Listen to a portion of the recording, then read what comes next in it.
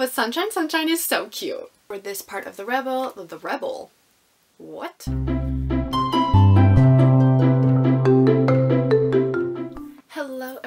It's your girl Jay and today I am here with my August wrap up for 2023. I read a total of 14 books so I will be splitting it up into two separate parts. So these are the first seven books that I read so without further ado let us get started. The first book that I have is Girls Like Girls by Hayley Kiyoko and I gave this a 3.5 out of 5 stars. After the unexpected death of her mother, 17 year old Coley moves in with her absentee father in rural Oregon. There she meets a popular girl named Sonia who she instantly feels drawn to. They start hanging out more but they try to hide their connection from everybody around them. I enjoyed this for the most part but I absolutely hated Sonia. I can understand her internal struggle and her need to always be perfect. Like, I feel for you, but I'm sorry. She was a shitty human she was just not a good person and I just could not get behind the romance. It was just so incredibly toxic.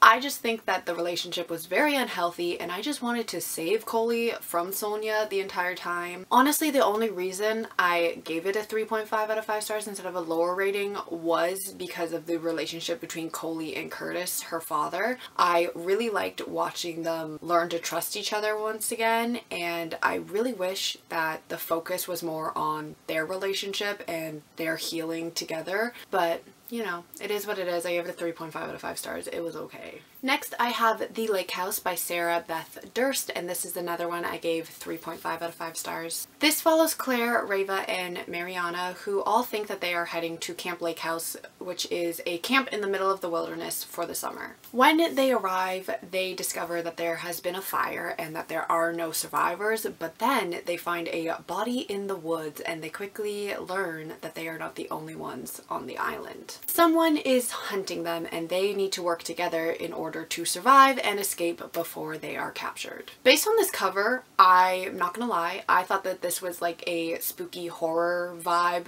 and that's not what I got so I will say I was disappointed but it's entirely my fault. This is more so a survival story. I just honestly wanted mass murder and destruction and I did not get that. I did really like the friendship that the girls develop throughout the story. I like how supportive of one another they are, especially with Claire and her panic attacks. I do think that the twist ending was intriguing. I liked how it played out, but the ending ending where the girls go back to the island, that pissed me off. I just, I don't understand it. Why would you want to go back to somewhere that you tried to escape from and then actually escaped and like it just make it make sense.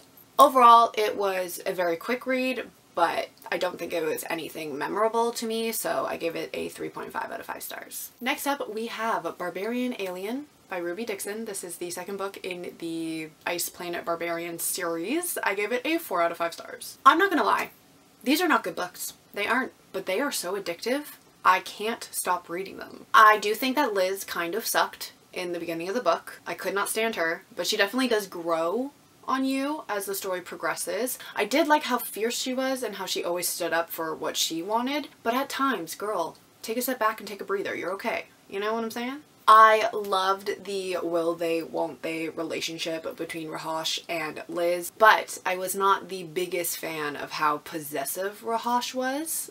I get it, but again, take a step back, take a breather. I did like the banter between Raahosh and Liz. I do think that they were funny together and I did like them in the end. I also just really liked how patient Raahosh was with Liz because if I was him, I don't know if I could do it. But he is just a sweet little mushy boy under that rough exterior, so I, I did I did like him. I'm not gonna lie, I'm definitely intrigued to see where the story and these characters go in the next thousand books that are in this series. I think there's like 20 of them and I will be continuing. And then I have another book that I rated 3.5 out of 5 stars. It is The Odds by Jeff Strand. After a business trip to Las Vegas, Ethan loses a lot of money and so he is very depressed thinking about how he is going to tell his wife and children about all the money he's lost and then he's pulled aside by a man named Rick and he offers him the unthinkable. A chance to win back all of the money. All he has to do is spin a wheel and land on any of the 99 numbers except for zero. If he does not land on zero, he gets that money, but if he lands on zero, they're gonna break his arm.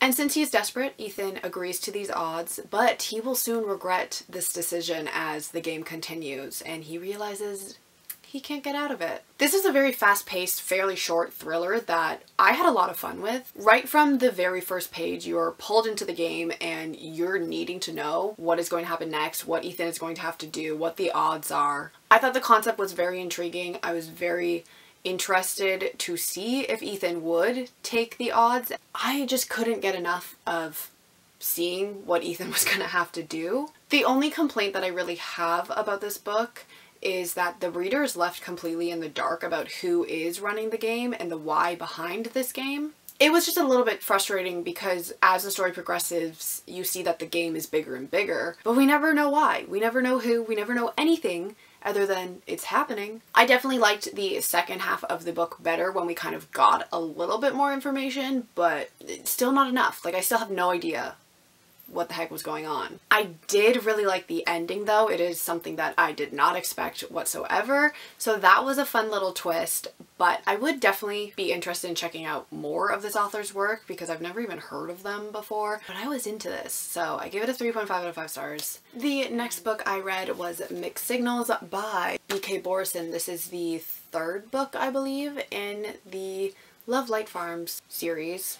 I haven't read the first two in the series, but it might as well be a standalone because I fully understood what was going on. Maybe just a couple of character cameos I didn't know who they were, but I really liked this. I give it a 4.5 out of 5 stars. This follows Layla Dupree, who has very bad luck in dating. She always seems to pick the wrong guy. Caleb, a regular at her bakery, is celebrating a family member's birthday party at the same restaurant where she just had her most recent terrible date. He swoops in and proposes that they should fake date for one month in order to kind of practice for the real thing. But as that month progresses, they quickly realize that they actually have a lot of chemistry together and they start to fall for one another. I really enjoyed this. It definitely gave me like Hallmark movie vibes. I freaking love these two characters so much. Caleb is probably one of the sweetest little cinnamon roll love interests I have ever read about. He is a consent king, which we love. I just loved how much he cared about Layla. He is giving golden retriever to the max. I honestly think he just reminds me of my own boyfriend and that's why I like him so much. Layla was also very sweet and I think that their chemistry together was off the charts. The sexual tension was insane. Their relationship is definitely slow burn. We love mutual pining. They really don't want to tell each other how they feel when it was so obvious to literally everybody else, but it's fine. Mutual pining is an okay in my books. Also, huge, huge fan of the fake dating trope. I also learned that I really love the sunshine and sunshine trope because I've only read Grumpy Sunshine, but Sunshine Sunshine is so cute. I was rooting for these two within the first couple of pages, so I just knew I was to eat this book up. I am also in love with the ending. I just thought it was so, so cute. I am taking off half a star because of the third act drama. It just felt so unnecessary. I don't know why it was there. It wasn't needed.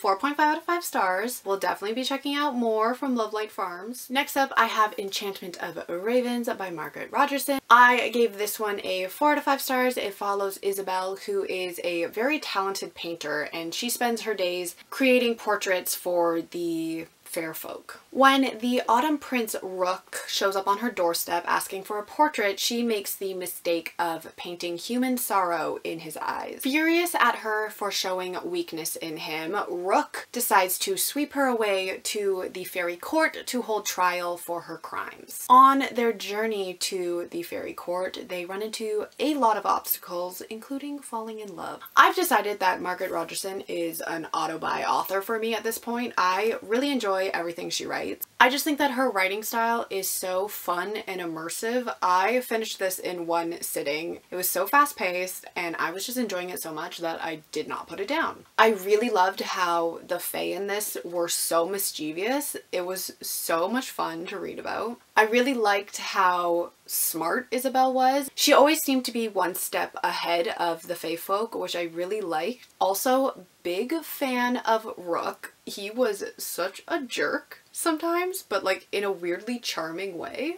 I really liked Isabel and Rook's banter with each other. They had me giggling more than once during the story. I would definitely consider their relationship to be insta-lovey, which I am usually not a fan of. I cannot stand insta-love, but something about these two just worked for me. I also just really loved March and May, who are Isabel's twin sisters who used to be goats before they were turned into children. I just think that they were such a fun addition to the story. I would read an entire book just based off of those two. I would really love any book in this world with these characters, but I don't think it's coming anytime soon. But I really like this. Four out of five stars. Definitely read it if you haven't. It is an oldie, but a goodie. And then the final book that I'm going to talk about for this part of the wrap up is Devil in the Device by Lora Beth Johnson. This is the final book in the Goddess in the Machine duology. I give it a 3.5 out of 5 stars. I definitely did not enjoy it as much as I did the first book. I just felt that it really dragged and it didn't really become interesting to me until the last little bit of the book when all the twists started coming to light. I did like the plot twists, I just felt that it took way too long to get there. This is told in dual point of view between Andra and Zaid. I definitely liked Andra's point of view better, but I do also think that's because Zaid's chapters had a lot of vocabulary that was made up and it's like their language and I found it very jarring in the first book, still found it jarring in this book. It just made the reading experience very clunky and made it a little bit harder to follow. It also made me sad that Andra and Zaid barely interacted in this story. I really liked them together in the first book, so it was just a little disappointing that you didn't really get that in this book. It also ends on what seems like a cliffhanger, but as far as I know, this is the only two books in the duology, so maybe there's going to be a spin-off series or something. But I also believe that this was released a fair bit ago, so I don't know but it seems like there could be a spin-off so that that might be happening i don't know but 3.5 out of 5 stars it was okay but not as good as the first book all right everybody so those were the first seven books that i read for the month of august 2023 part two of my wrap up with the last seven books that i read for a total of 14 will be up on my channel soon hopefully once i film the video and edit it but soon. Let me know down below if you guys have read any of these books and what you thought of them, and I will see you all in my next video. Goodbye!